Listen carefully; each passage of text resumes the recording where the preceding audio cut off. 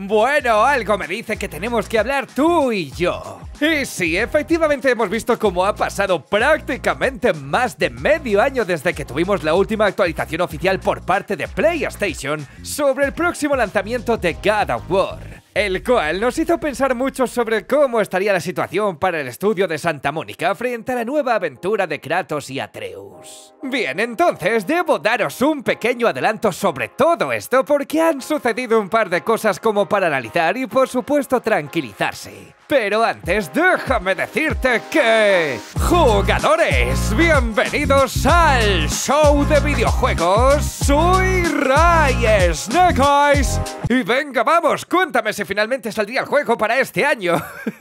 ya veo que no. Yeah, no pasa nada. ¿Y sabes por qué? Porque nos tienes precisamente a nosotros.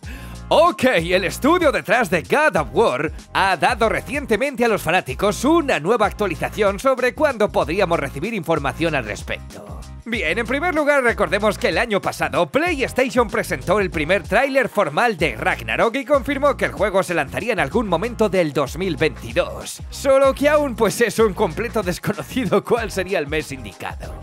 Entonces, para la preocupación de muchos de nosotros, Santa Mónica Studios ha guardado silencio sobre el juego, manteniéndose más o menos bajo un perfil relativamente bajo. Pero es ahora cuando afortunadamente hoy se ha producido una nueva actualización sobre Ragnarok. Como sabéis, hace muy poco hemos recibido el cuarto aniversario del videojuego de God of War del 2018. Y aunque muchos estábamos esperando un previsible anuncio, finalmente el estudio nos dejó con un vídeo del director Cory Barlog. Sin embargo, es muy importante detenerse en este clip en cuestión porque Barlock agradeció a sus fans todo el apoyo recibido por la saga a lo largo de estos últimos años. Y esencialmente comentó que Santa Mónica Studios no está listo en este momento para mostrar nada sustancial de God of War Ragnarok. Pero aún así no deberíamos temer por ello porque aprovechó en añadir que la compañía definitivamente haría algunos anuncios cuando esté listo para hacerlo. Así que tomando sus palabras textuales dijo que si bien no hemos recibido mucho sobre God of War Ragnarok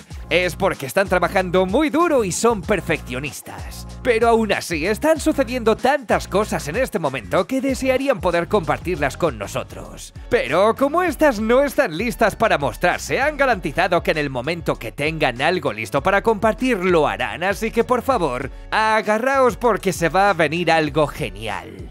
Vale, por lo demás lamentablemente no existe una información detallada sobre el videojuego, al menos en cuestión de metraje o nuevas imágenes. Pero sí que a decir verdad, los diferentes desarrolladores han dado ciertos detalles que querían compartir con nosotros para así convencernos que God of War Ragnarok va a ser un título para la historia de los videojuegos. Bien, por un lado debo deciros que la información sobre la variedad de armas en God of War Ragnarok es más bien escasa. Y el avance que había mostrado en el PlayStation Showcase del 2021 reveló que el hacha Leviatán de Kratos va a regresar. Por eso, como bien sabéis, esta arma se había introducido originalmente en God of War la versión del 2018, llamando la atención del mundo de los videojuegos por la forma única en el que se utilizó, donde Kratos podía arrojar el hacha y luego devolverla, permitiendo el dañar a múltiples enemigos cuando viajaba de un lado a otro. A su vez, claro que en ese mismo tráiler se reveló que las espadas del caos también estarían de regreso, un elemento que ha estado en la serie desde el primer videojuego allá por el 2005.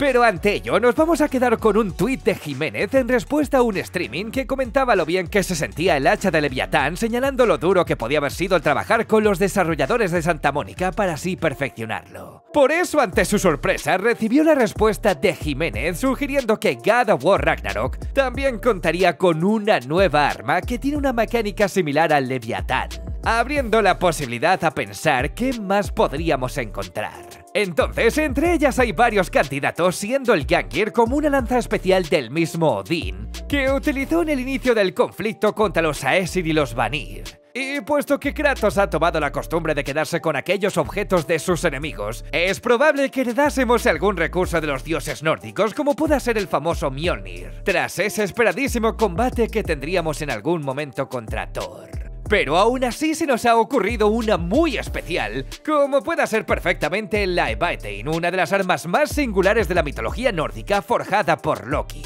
siendo necesaria para derrotar a la criatura Vidopnir, un gallo que estaría sentado en la cima del mismo árbol del mundo, también conocido como Yggdrasil. Y aunque esto pueda ser fácilmente un objeto de debate en los días de hoy, muchos están de acuerdo que la Evatein es una especie de varita mágica que fue forjada a partir del muérdago, que como sabéis es un recurso utilizado para acabar con Baldur. Así que tener a Kratos empuñando una varita sería una experiencia novedosa aquí. Aunque también te digo que encajaría con el arco del desarrollo de su personaje, ya que en un pasado, Kratos había sido un hombre que confiaba en sus músculos para resolver todos sus problemas. Pero la experiencia ha demostrado que la ira no siempre es la respuesta y a veces la razón junto a la sensatez son sus mejores soluciones. Por ello, equipar a Kratos con un arma que dependería de la mente en lugar del cuerpo demostraría que Kratos es un hombre que verdaderamente ha estado madurando, además de relacionarlo con el tuit de Jiménez, permitiendo a los jugadores el manipular a los enemigos desde una larga distancia. De hecho, canónicamente la inclusión del Labatein tiene mucho sentido ya que el Yggdrasil apareció en God War del 2018, haciendo que ahora la secuela para Kratos y Atreus descubran más sobre este árbol y quizá incluso se hayan enfrentado a Vidopnir, lo que requeriría que estén utilizando este nuevo recurso si es que quieren abatirlo, desbloqueando quizá después de esto más regiones para visitar dentro de los nueve reinos. Bien, por un lado, como sabéis, la mitología nórdica estaría repleta de espadas y cada una de ellas llevaría su propia leyenda. Por eso, tener a Kratos empuñando una espada poderosa ciertamente lo haría verse mucho mejor. Y quizá muchos de nosotros hemos pensado que la más obvia sería la de Freyr, que según la mitología nórdica, Freyr es el dios del buen tiempo y de la luz del sol. Aunque a su vez siendo hermano de la diosa Freya, una vieja conocida que no acabó muy bien tras haber derrotado a Baldur. Entonces, la adquisición de la espada de Freyr por parte de Kratos podría representar un mayor enredo con su familia, lo que daría todavía más a Freya aún más razones para que esté buscando una venganza. Por último, no olvidemos que podría adquirir el Hofud, que es una espada perteneciente a Heimdall, el dios que vigilaría el Ragnarok, quien posee una excelente vista y oído. Y bueno, pues sabiendo que el Ragnarok va a tener un papel muy importante, perfectamente se trate de un amigo regalándote su espada y si no adquirirla después de la batalla. Bueno, y entonces intentando hablar de su fecha de salida, nos hemos encontrado que Bruno Velázquez muy deciso decidió contestar a un seguidor, diciendo que efectivamente el videojuego de God of War Ragnarok saldría para este mismo 2022. Y ya son varias personas del estudio que han estado confirmando que saldría a lo largo del 2022. Entonces, ya mirando en el presente encontrándonos a finales del mes de abril, pues más o menos cuando se ha estado dando una fecha de lanzamiento se suelen dejar unos 4 meses de margen para los grandes lanzamientos. Lo que nos hace pensar que si deciden darnos el siguiente adelanto debería ser en mayo o en junio donde perfectamente podríamos tener un estreno final comprendiendo los meses de octubre o noviembre de este 2022. Pero esto sería un arma de doble filo porque puede coincidir con otro peso pesado como ha sido el videojuego de Hogwarts Legacy, el cual también contaría con una base de fans muy fuerte como para coincidir. Por un lado, hay rumores donde se cree que Santa Mónica Studios no ha estado dando una fecha precisamente a la espera del próximo videojuego de Warner Bros. Games, para más o menos intentar darse un margen con el videojuego de Hogwarts Legacy más después de lo que hemos visto con Elden Ring y Horizon Forbidden West. Pero lo que está bastante claro es que estas dos bestias uno no debería perderse. Sinceramente, muchos usuarios hemos pensado que ese anuncio no debería tardar en producirse, ya que para empezar, si están tan seguros de que vaya a salir en este 2022, deberían darnos una fecha más o menos en mayo o en junio. Ya que recordemos que durante el 2022 tuvimos un total de dos showcase que son la retransmisión madre dentro de PlayStation 5. Por lo menos para mostrar aquellos mejores anuncios y donde solamente se ha visto hasta entonces el videojuego de God of War Ragnarok. Así que en el primero de ellos tuvimos un teaser en el mes de junio y seguramente estemos muy cerca de recibir otra retransmisión para que puedan darnos la cara con una fecha incluida. Bien, al margen de esto estaría con uno de los escritores de God of War, el cual había comentado que nosotros habíamos visto el último gameplay allá por el 2021. Pero resulta que en el mes de marzo del 2022 ellos vieron un avance y sus gráficos estaban ajustados. Así que no quieren imaginarse cómo van a ser cuando tengamos el lanzamiento catalogándolo como de nivel 3. Luego, otro desarrollador en cambio comentó que no puede esperar a su lanzamiento porque cada reino va a ser único y hermoso, donde seguramente estés deteniéndote un tiempo para admirar sus magníficos entornos e iluminaciones. Además, con todo esto ya estamos viendo cómo han sido unos cuantos que han dejado mensajes de despedida como si el trabajo ya estuviese concluido. Lo que nos hace pensar que el juego estaría en una fase cercana de terminar todo este trabajo.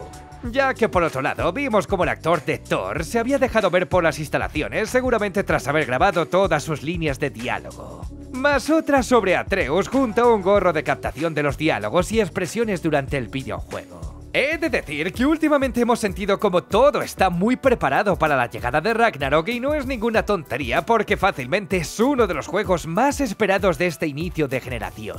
De hecho, el blog oficial de PlayStation había compartido unos pequeños easter eggs y secretos, encontrados en la casita de Kratos junto a Atreus al comienzo de la aventura de su anterior videojuego, localizados en Forbidden West, el último título publicado de la serie de Horizon.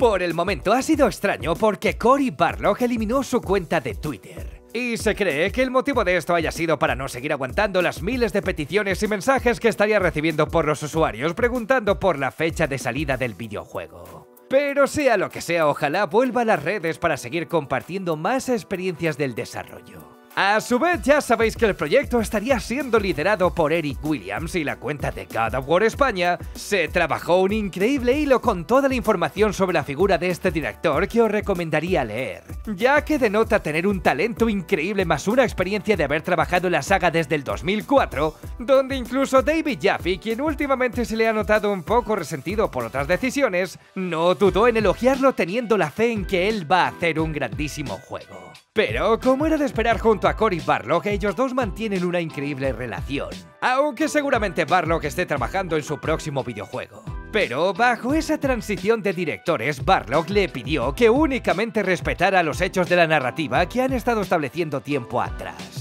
Y bien, con todo esto todavía quedaría en el aire cómo vamos a conocer el próximo trailer de God of War, aunque esto es casi seguro que vendría de los canales de PlayStation. Sinceramente, lo más lógico es que pensemos que primero recibamos un showcase en junio, para que más o menos en un mes o dos antes de su lanzamiento obtengamos un State of Play explicativo como había sucedido con otros videojuegos. Ok, me gustaría saber si estáis listos para el próximo gran lanzamiento de PlayStation 5 y 4, y nos vemos muy pronto con más contenido. ¡Chao!